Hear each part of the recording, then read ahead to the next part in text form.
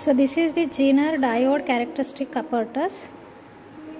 So in this experiment we are going to find out the breakdown voltage for reverse as well as forward bias. So Zener diode are the semiconductor devices that allow current to flow in both the direction but specialized in current flowing reverse also known as breakdown diode. So Zener diode we call that as breakdown diode. So first we should know how to use this apparatus. So in this experiment uh, we have to study the IV characteristics of Zener diode in both forward and reverse bias. So the whatever the apparatus we have we are required here itself in this kit is available milliammeter, voltmeter, rheostat, power supply, connecting wires and diode or Zener diode.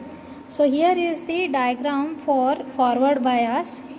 So here is the Zener diode which is connected parallel to the voltmeter and the common connection between ammeter and it, ammeter is connected to resistance then rheostat that is uh, connected to the battery. So here is the diagram for circuit diagram for reverse bias.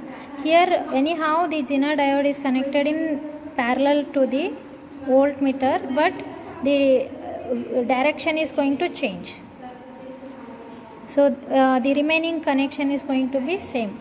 So once you plot the graph of voltage versus current, current is along y axis and voltage is along x axis so forward bias always in the positive region and uh, Zener diode actually works in the reverse bias. This is what the for reverse bias. You can see initially the current is going to be minimum with respect to voltage as you increase and there is a some point where we come across the breakdown voltage we call that it starts increasing. That is what constant zener voltage we get after this uh, breakdown voltage. This reason we call zener breakdown reason. And here for forward bias reason initially uh, we get small value of current with respect to voltage and then it is going to increase gradually.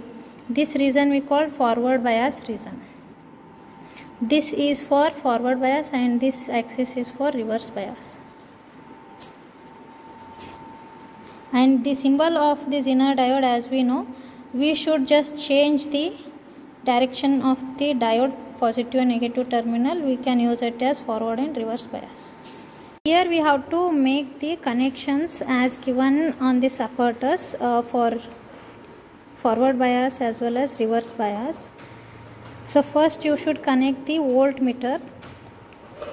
So this is the dc volt uh, voltage we have to apply. The range is 0 to 15 volt. As we can see here in this voltmeter reading 0 to 15 volt. So first you should connect uh, the positive terminal of the voltmeter to the positive and negative to the negative terminal. Then there is a common connection here. Uh, this positive terminal of the voltmeter must be connected to the resistance one end of the resistance and another negative terminal to the um, anode of the Zener diode okay? There are three diodes uh, are mentioned here 5.1 volt 8.2 12 volt. So here we have made the connection to the 8.2 volt.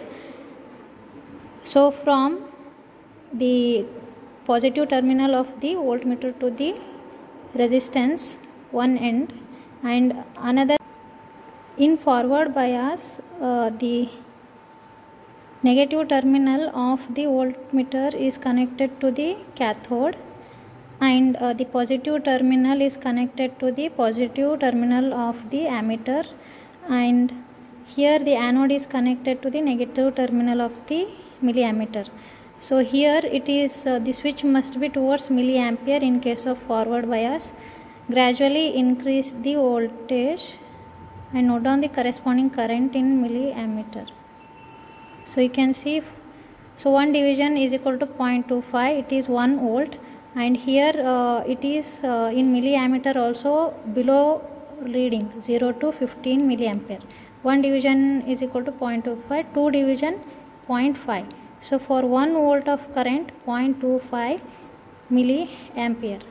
So here also you can see they got for around 1.2 volt to 5 volt current in the ammeter that is 0.5 gradually increase the voltage and note down the corresponding current.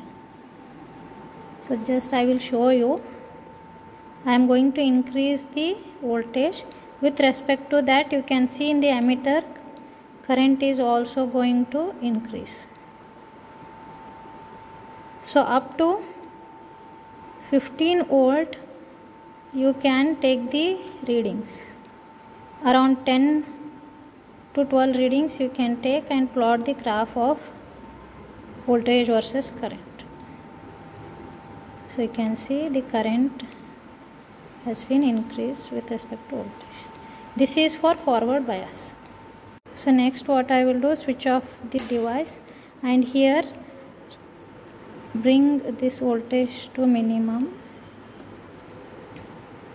Then I will change here uh, the terminals anode and cathode. So here anode and cathode.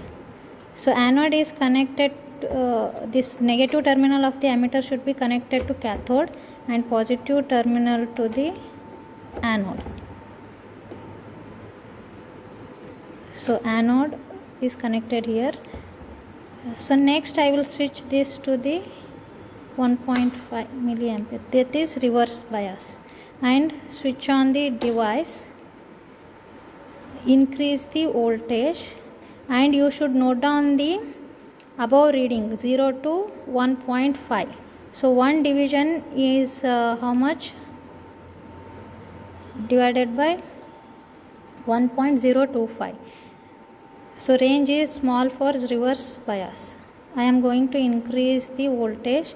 In Zener uh, actually Zener diode is uh, especially it works in reverse bias.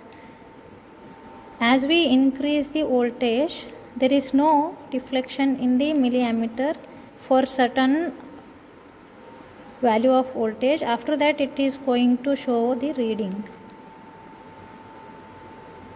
So you can see there is no change in the current.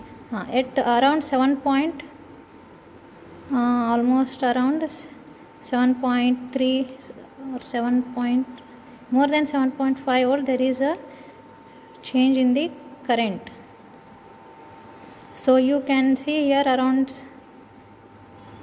7.5 to 10 that is how much here 9 around more than 9 uh, and here one division is equal to 0.025 four divisions are there. So almost around uh, 0.01 current. Then I will show you here. Here also same 0.1 milliampere they got. Uh, for beginning as you increase the voltage current is going to be 0 at some value of voltage you are going to get the current. Similarly here also we got uh, around 8 or 9 volt and the current is about 0.1 milliampere. You can also see here. So let us increase the voltage and uh, see how the current is going to vary so as you increase above the voltage of 8 volt or 9 volt you can see there is a change in current. Current is also going to increase.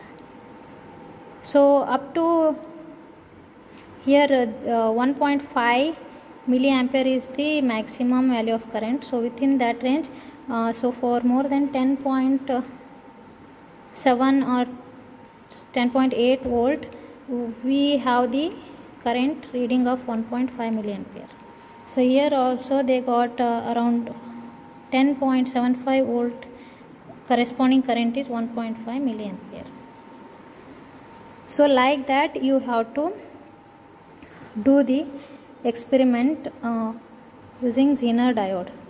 So Zener diode for forward bias and reverse bias.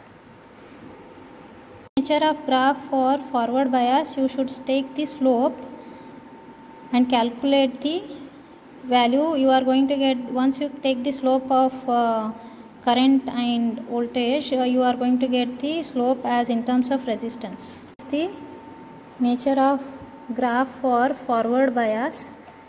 Uh, so the, they have calculated the slope that is about 500 ohm.